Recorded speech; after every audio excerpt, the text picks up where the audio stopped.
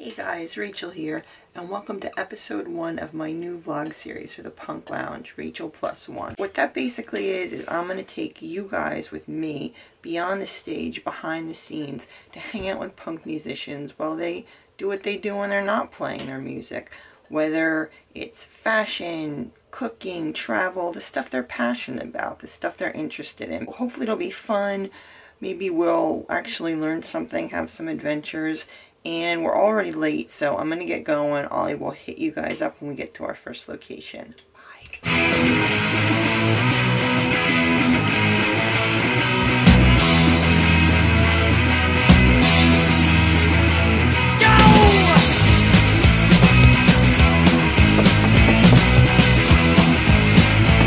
Hey, Lindsay. Hi, Rachel. Are you here for the punk rock tea party? I am. Come on in. Hey, who's this guy? That's killer. Hey, killer. You don't look like you kill much.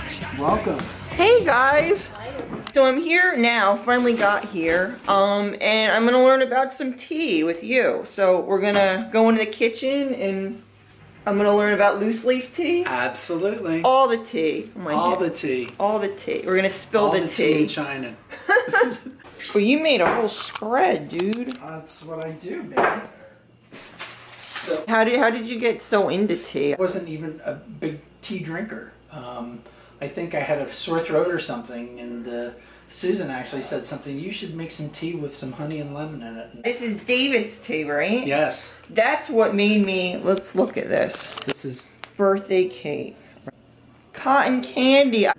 That's So- amazing. A tea is probably the oldest drink. Story is that uh, a emperor uh, had some uh, leaves fall in his uh, hot water that he was drinking, and uh, that's how uh, the idea of tea came out. I like to get all different types.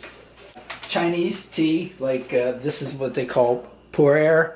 Uh, it's very earthy. And Assam from India, eh, this is what they uh, call orange pekoe, but it has no orange flavor in it. It's actually relates to the size of the leaf and the the way that the leaf is cut. But this is what uh, a lot of people make uh, iced tea with uh, because it's kind of uh, neutral, but uh, has a nice sort of astringency, you know. Nilgiri, which is uh, uh, an Indian tea, green teas, like they're uh, uh, popular in uh, Japan. Japan what is where you get most of your green teas. Um, um, the other popular drink now coming out of Japan is what they call matcha, and it's almost like a, it's really grassy. It's a really kind of grassy flavor on a tea.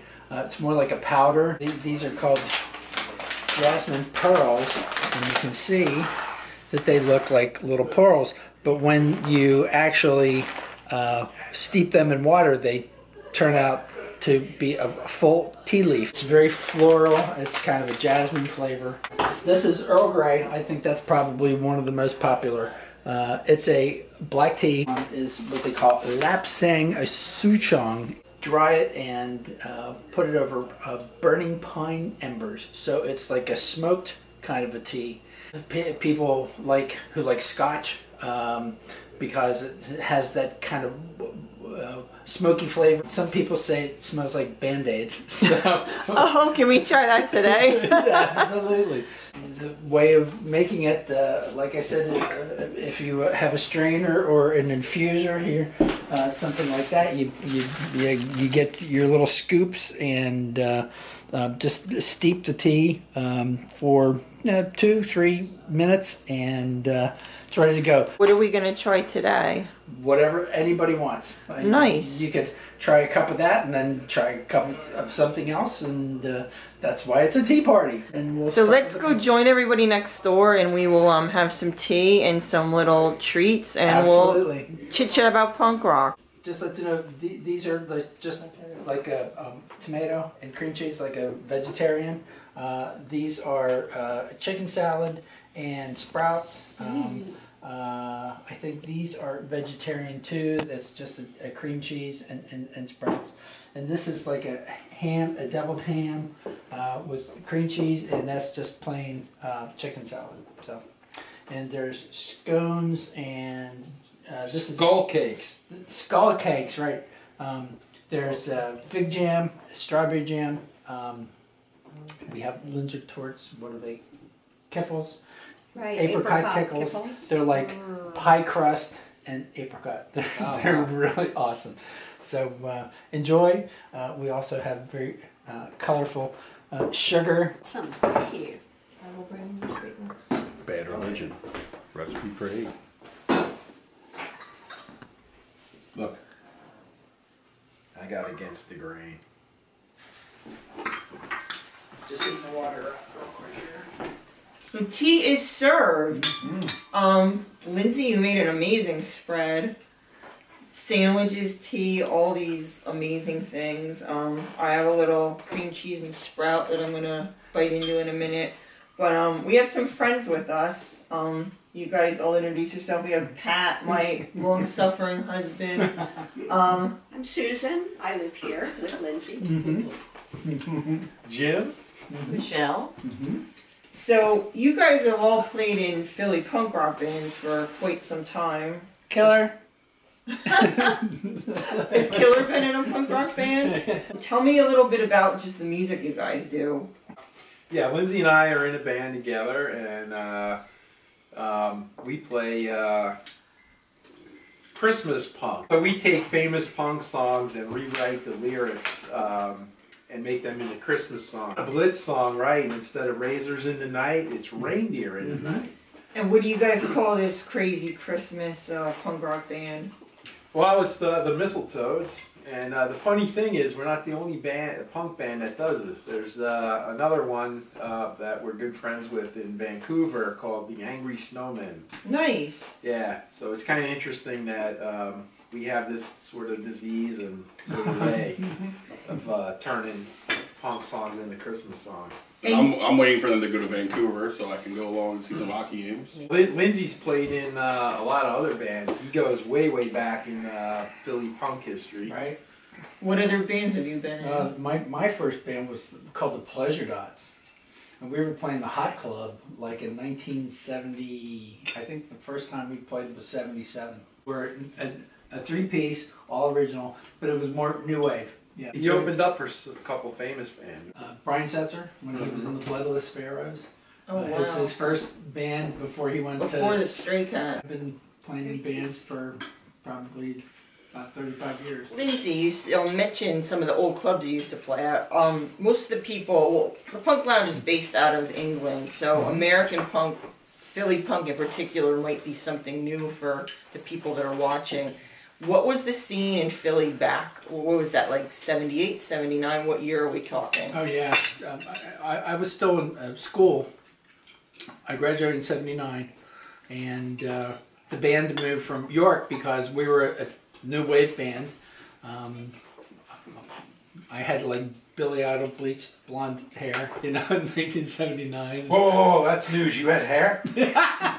it, it was great. I mean, even in from the 70s to the 80s, like South Street, you know, you had the hot club, and, and it was really um, a shame, you know, gentrification, and they were blitzing all those neighbors neighborhoods up at 21st and South, and uh, So basically, for someone that doesn't know South Street back then, it would be like what New York had St. Mark's Place. okay, London, maybe you compare the King's Road. That was where all the punks just Mm-hmm. Right. congregated and, and that's where all the and that's uh, Zipperhead was down there. All the but Scandals. all the clubs, uh, um, all, all, all, the, all the clubs, um, uh, Dobbs, uh, the Ripley, Bigelow's, all the and and you could play seven nights a week to a full wow. bar. That was the. I don't know who worked and who didn't, who, but it was. Uh, it was a great time. Like, what was one of the bands that you still remember seeing back there that's like burnt in your brain? Robert Hazard and the Heroes. Um, I, I saw the B 52s Wow. at the Hot Club um, when they were pretty much nobody. Um, uh, And Robert Hazard, a lot of people don't know him, but they would know his songs because he, he wrote a lot of famous stuff that kind of Right. went went girls just just want to have fun and escalator of life and uh, we actually had a bill with him at, at the hot club. He was just starting out. We were just starting out he was a great guy. The hooters uh, they, they were a big uh, philly band back in the day. And yays. right the A's. And you know uh, Richard Bush is still playing with a good friend of mine. He's a bass player Roy Fisher.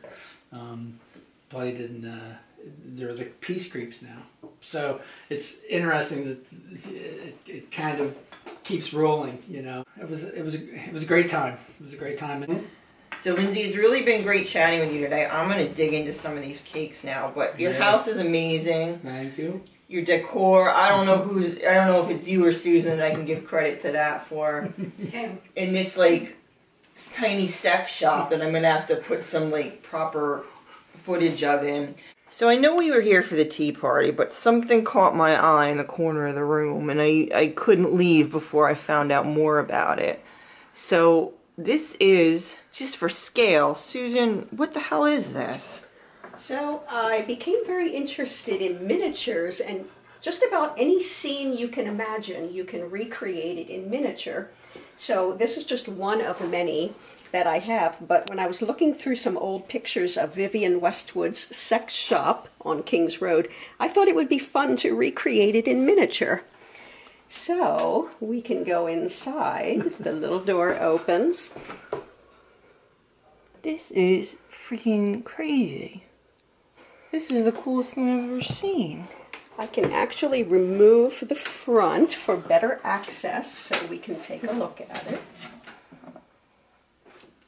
Doesn't it just make you want to shrink down and walk inside and shop? This is like my Barbie dreams, but like a cool grown up punk version. There's Vivienne inside there, and you can see the, the jukebox that would have been in the old store is there. I tried to recreate the look of the old, uh, some of the displays with the curtain behind it. This is how did you find all like where does one find a miniature jukebox? Like this is You you would be surprised what a big business miniatures are. and like There's the, the entire sex. websites for selling miniatures. I mean that sex thing. Did you make that I yourself? made the, the bag. and then yes, it's just it's incredible because anyone that's a fan of this stuff knows that like I made this little leather vest that says sex on it. that is insane. How I'm about just the bondage gear? Right. Yep. Yes. Here's a little straight jacket.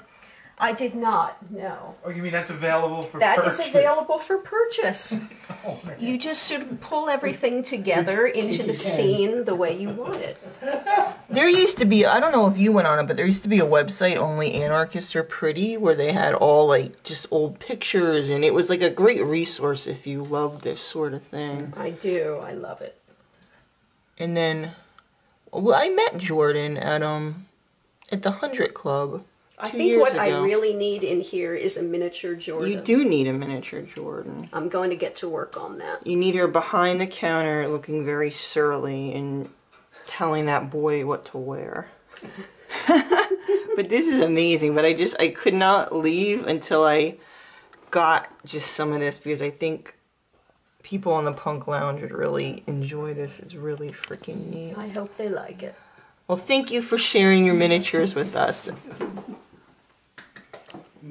I'm glad that everybody joined me today. This again is um, Rachel plus one on the Punk Lounge. We're here with our friends and with Lindsay, who is Mr. Punk Rocker, who also knows a lot about tea.